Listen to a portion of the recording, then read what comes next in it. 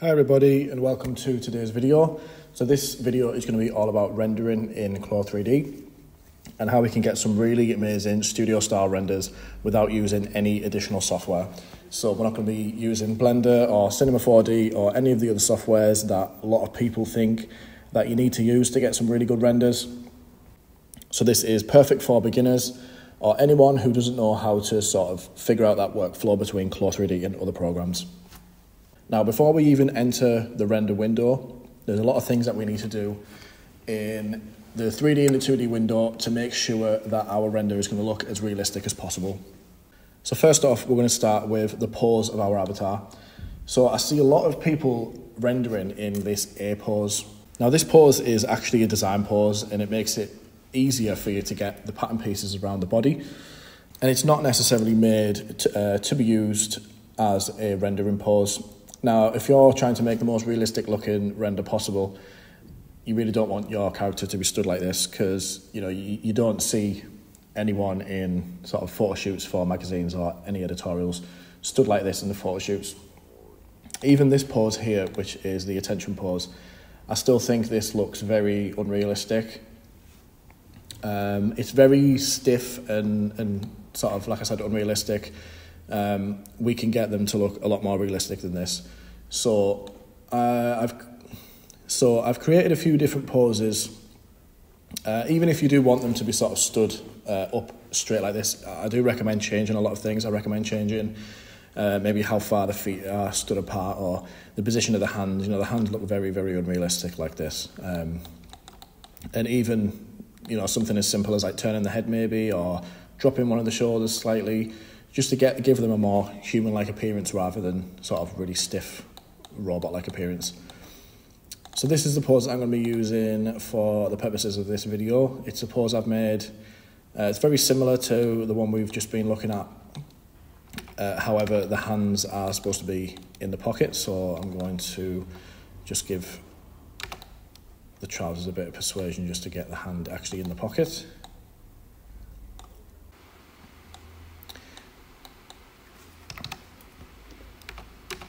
And I've also, in this pose, the feet are also slightly uh, another, like, you know, shoulder width apart, as well as changing the uh, direction that the character is looking. And just like that, we've created a much more casual street style um, pose that looks a lot more human-like and less robotic than the standard attention pose. So now that the pose is looking good and more realistic, let's look at the shoes.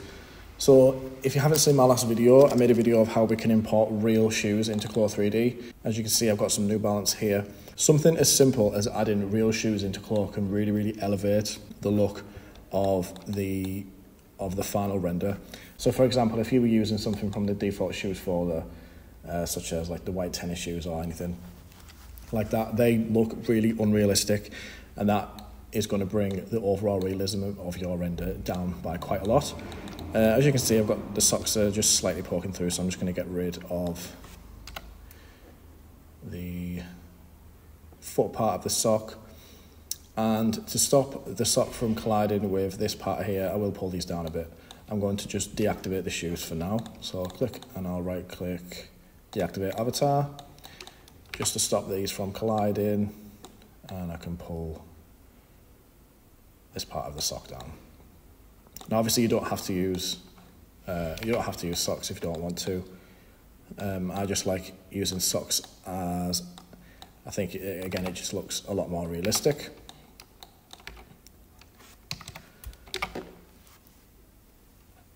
So next up then we need to make sure the particle distance of our garments is at the lowest that we can go uh, comfortably with our computer, which is typically uh, five. I wouldn't recommend going lower than five, as you do actually get a warning on um, you do get a warning message pop up when you change to anything lower than five that it will uh, sort of severely slow down the simulation on your computer.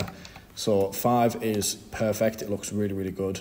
Really really small things like this Stone Island badge on this jumper. This could potentially go lower than five, um, but still I think you're probably not going to notice much of a difference. So anybody watching this who doesn't necessarily understand what particle distance is within CLO 3D, I'm going to change my view here to the wire mesh mode. And we can see that every piece of fabric is made up of this triangular mesh where each point is a certain distance apart in millimeters, and that distance is the particle distance.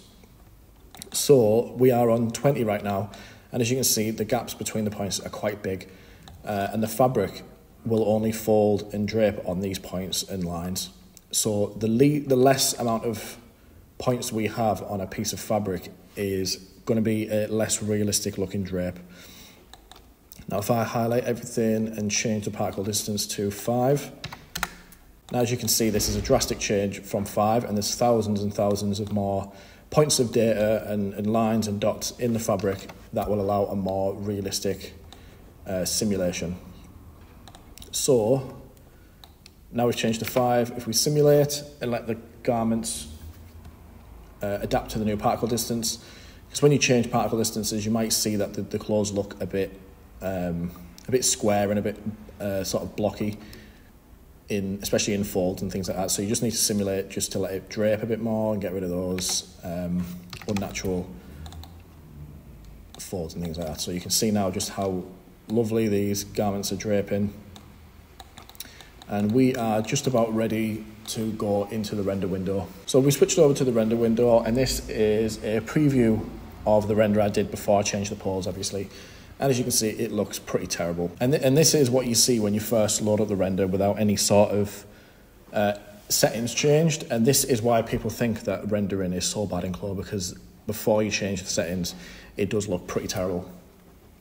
But if I now refresh this with the new pose and everything we've just added to the character, the shoes, it's going to start to look a bit better already. Okay, so now let's go into the, each of the different settings and start changing things to make this look even better. So we're going to start off with the image and video properties, which is this tab.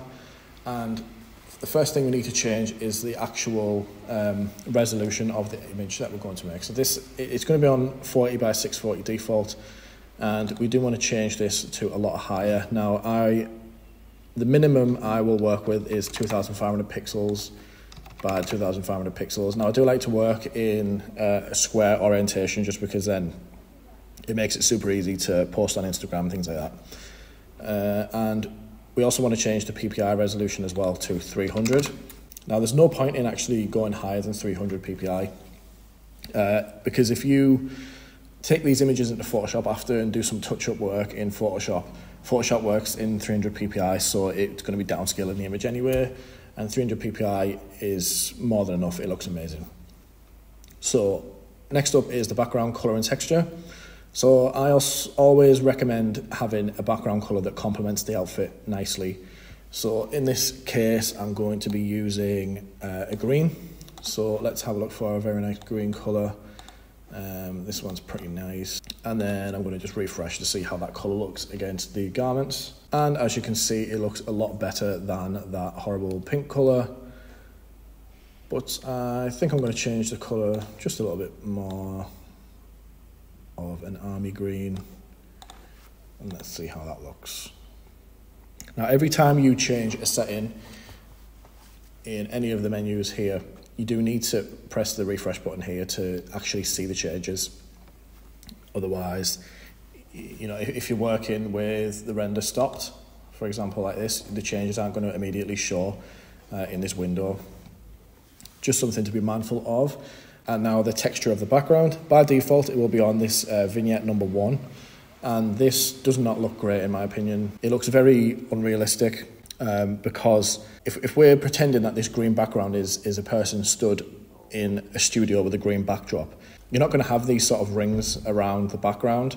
So I like to change this to sort of any of the other um, any of the other ones really apart from the vignettes. So any of the diagonal and any of the gradation ones. So I'm going to change it to number one for now. Uh, but we may need to change this again down the line just to match it up with the lighting to make sure that we've got everything sort of lined up in terms of the background shadow as well as the shadow from the avatar. So I'm going to go with diagonal one. Okay, now down to the lighting tab. Now this is arguably one of the most important things to get right to make sure that the renders are going to look good. Now the default lighting in the render scene in CLO is just this dome lighting. It looks terrible. Um, there's really no sort of highlights or shadows or anything like that. It's all just sort of one colour. Now, luckily, in one of the recent updates of CLO, they've added in lots of different lighting presets. Now, this makes life a lot easier because before we had to add in all of these lights from up here, the rectangle, the sphere, the directional light, all of these, you used to have to add them and sort of play around with them and place them. And it was very, it was a very tedious process. It was very long. Now, I do recommend still playing around with these lights just to sort of experiment and see uh, how these lights can affect rendering. But in terms of this tutorial, we're going to just go with one of the presets. Now, I like to use uh, light number seven as I feel like it gives the most sort of um, highlight and shadow contrast out of all the lights, which looks really, really good. And another really important thing to turn on is ground shadow. Now, as you can see on the render at the moment, it just looks like our guy's just floating there. Uh, but when we turn on ground shadow, it's going to look like he's actually stood on the floor and not just floating. So I'll show you that now if we refresh. Now that already looks 100 times better. We've actually we've actually got some shadows, some highlights, and we've got some a really nice shadow on the floor uh, cast from our avatar, and it looks really good already. And then last but not least is the render properties. Now, starting off with the finish conditions, the noise threshold for a realistic render always wants to be on the lowest it can possibly be, which is 0.001. For anyone who doesn't know what noise is, basically it's, uh, it's, it's just like grain. So the, the least number we have this on, which is this 0.001, the less amount of um, grain we're going to have in the image at the end, uh, as well as max render time. So the longer we leave this for, uh, to a certain extent, you know, you, you're probably not going to want to be leaving it for like 100 minutes or something. Uh, 15 to 20 minutes, I think, is a very good number if you've got a decent PC. Uh, I tend to just leave it about 15 minutes and I think it looks really, really good after. So we're going to change that to 15 as well as light and material quality always wants to go on very high. You don't ever want to render on any of the other settings apart from very high. And in terms of settings and render properties, that is everything done. Now there's one more thing that I like to do uh, to make my renders look that much more realistic and that is to get rid of the avatar. So, unfortunately, in CLO 3D, the avatars do not look realistic in the slightest. Um, obviously, the the newer avatars are a bit more realistic looking than the old ones, and I think that the newer female avatars are not too bad looking, but I do still tend to hide them in most of uh, my renders. Now, I also think hiding the avatar looks very, very cool, and it gives a very quirky looking render as we've got our render that's sort of floating in place in the shape of a human with no human there. I think it looks really, really good. Now, as you can see there, when I pressed Shift A to hide the avatar, we lost the shoes as well. So all we have to do to lose the avatar but keep the shoes is we double click on the avatar to highlight everything, or we can click, right click, select all faces, and then we just, while we're holding Shift still, we just want to click on the shoes to unselect them. And now we've got the entire avatar selected apart from the shoes. And over here in the property editor, I'm just going to lower the opacity down to zero. Now back in the render window, if we now refresh, and now as you can see, we have a very, very nice quirky style render. The garments look very, very realistic. We've got some real life footwear in there and without any sort of um, unrealistic avatar sort of holding the render back. Now, as I mentioned earlier on, we might have had to change the background texture in the image and video properties. However, this one actually lines up very, very well with light number six. So as you can see, the light is coming from this side because our shadow is cast on this side. You can see it lines up very well with the background texture as the shading is also on this side, whereas the light's on this side.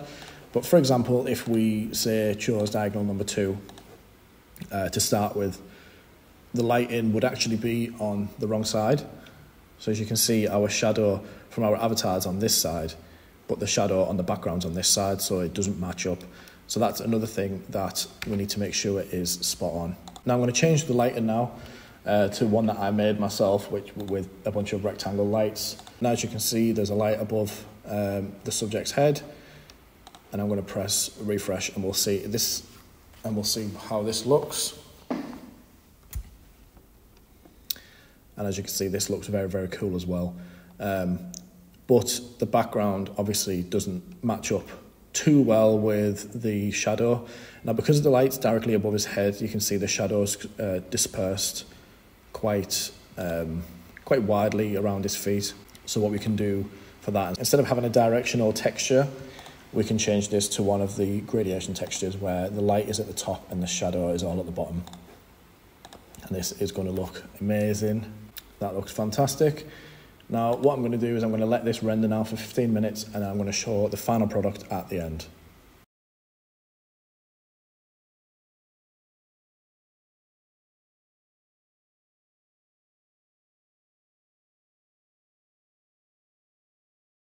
So I really hope that you enjoyed this video.